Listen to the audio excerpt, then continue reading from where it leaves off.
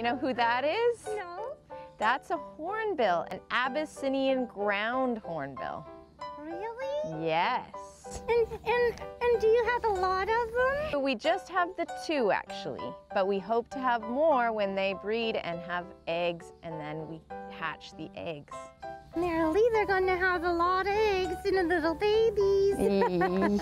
well, they're hoping to have babies, and that's one of the things they try to do here. They help the animals to reproduce. That's right, that's right. So we encourage all that we can of natural kind of surroundings so that they'll think they're in the wild and go and lay eggs in the areas that they choose.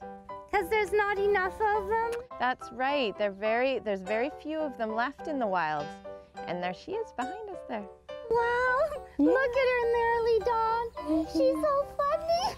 She is. Do you see all that blue on her? She's got bubbles on her neck. She does. That's called a throat sac, and they can inflate that and deflate it.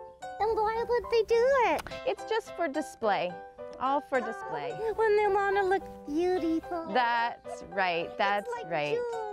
That's right. It's their it's their jewelry. What's on top of their beak? That's a good question. That's called a casque.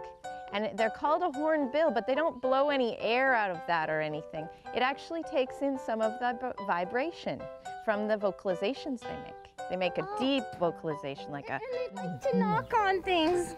They do like to knock. She likes to bang her beak on everything. Because she's happy I'm here. That's exactly right. She's very happy.